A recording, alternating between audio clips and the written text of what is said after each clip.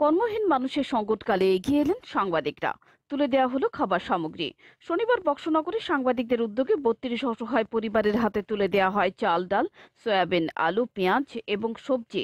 উপস্থিত ছিলেন ওয়াকফ বোর্ডের চেয়ারম্যান বাহারুল ইসলাম।